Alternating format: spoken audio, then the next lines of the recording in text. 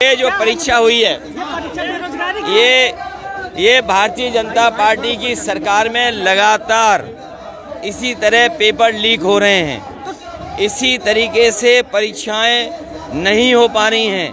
आने वाले समय में यही बेरोजगार नौजवान भारतीय जनता पार्टी के खिलाफ मतदान करेंगे और भारतीय जनता पार्टी का सफाया होगा। अनुराग ठाकुर कहते हैं कि आप दंगल हम दंगे होते हैं वो दंगल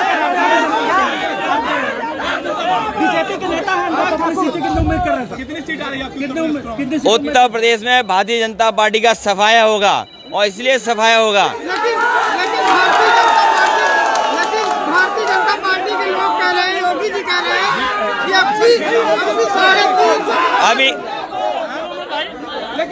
अभी अभी आपने मुख्यमंत्री जी को पैदल पैदल पैदल चलते देखा था, जो अभी से पैदल हो गए हों। और मार्च करते देखा उनको आपने, मार्च करते हुए। जब मार्च आएगी तो जनता इनका मार्च कर देगी।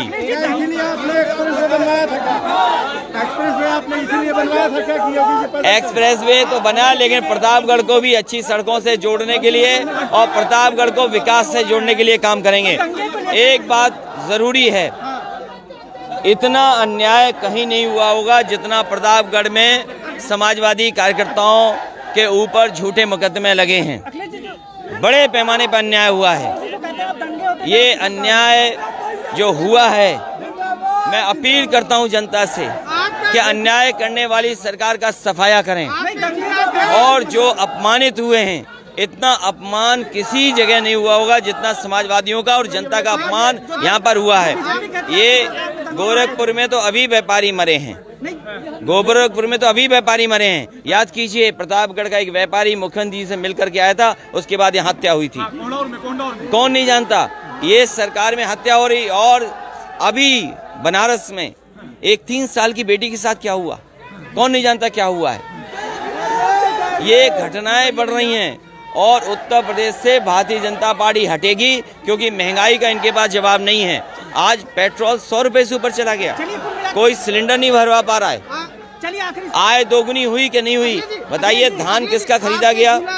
किसी किसान का धान नहीं खरीदा गया होगा।